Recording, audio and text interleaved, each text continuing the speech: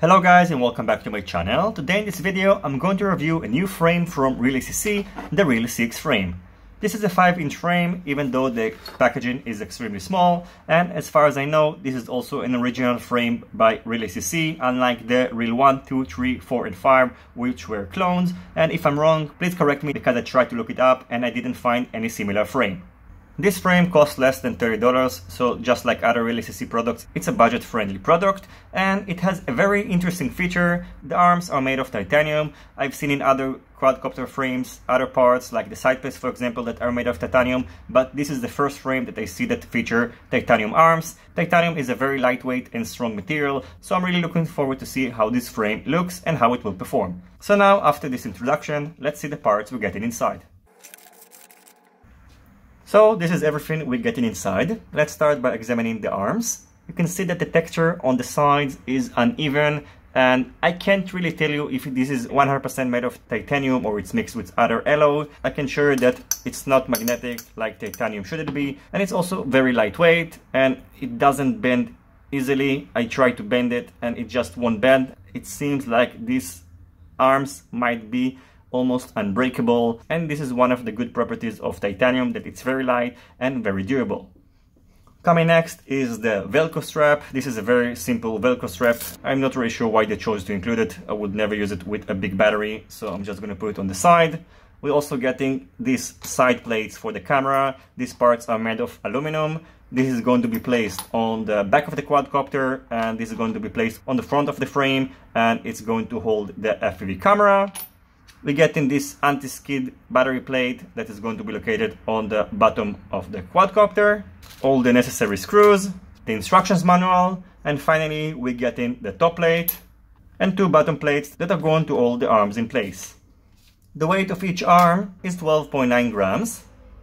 So if I compare it to this arm from Nedisi, this is a frame that I'm going to review in the next few days, which is also a 5 inch frame. The weight is 8.2 grams, so the titanium arm is noticeably heavier than a standard carbon fiber arm. The thickness of the arm is 3 millimeters. The thickness of the bottom plate is 2.5 millimeters. And the thickness of the second bottom plate is 2 millimeters. And finally, the thickness of the top plate is 1.5 millimeters. Now I'm going to quickly assemble this frame and show you the outcome. So this is how the frame looks like when it's assembled. If you decide to buy this frame and use it, you will need to pay attention to one thing when building it, which is to assemble this part before assembling the bottom plate. You can see the two screws that are holding this part are not accessible. So in order to save you some frustrations, make sure to assemble it before assembling the bottom plate. In addition, the screws that are holding the stack are accessible from the bottom, but I still think that it's recommended to attach the stack to this middle plate before assembling the bottom plate. By the way, you can see that you have a couple of mounting options, so you can also use a 20 by 20 stack with this build. And one more thing, a standard FPV camera is not going to be compatible with this frame, so you can either use a mini or micro cameras. You can see, for example, that the Predator Mini camera fits without any problems, so we'll need to get either a mini or micro camera in order to use this frame. Now let's weight up. So the weight of the frame is 98.1 grams, so it's a pretty lightweight frame, and if the arms are really made out of 100% titanium, it should be also a very durable one. The distance between motor to motor is 210 millimeters. The distance between the motors on the sides is 15 centimeters, and on the back, it's also 15 centimeters, so this frame has a true X pattern. Now let's measure the distance between the mounting holes of the motors, and you can see it's about 2 centimeters by about 1.6 centimeters. So you can use 2205 motors without any problems and if you want to use 2307 motors for example, you will be able to mount it only using two screws.